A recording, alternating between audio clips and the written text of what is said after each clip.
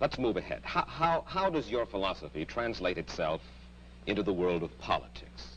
Now, one of the principal achievements of this country in the past 20 years particularly, I think most people agree, is the gradual growth of social protective legislation based on the principle that we are our brother's keepers. How do you feel about the political trends of the United States, the Uh, Western world? The way everybody feels, except more consciously. I feel that it is terrible, that you see destruction all around you, and that you are moving toward disaster until and unless all those welfare state conceptions have been reversed and rejected.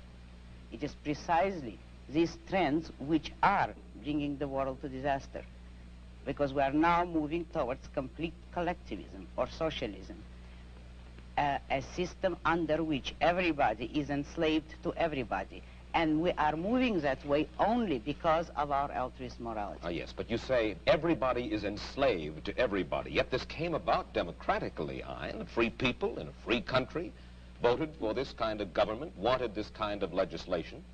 Do you object to the democratic process? I object to the idea that people have the right to vote on everything.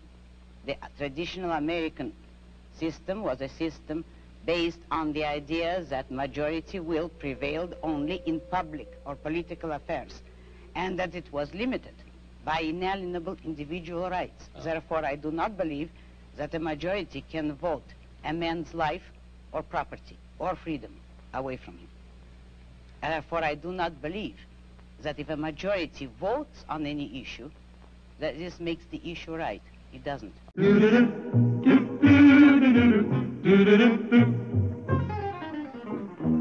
Tickled pink that things are rosy and skies are blue once again.